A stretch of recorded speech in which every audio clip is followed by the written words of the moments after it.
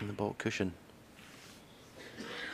He's played further behind the brown, but if he doesn't get it, no problem. It's still a good safety. But he has got it. What a cue ball that is. As long as John Higgins can get up this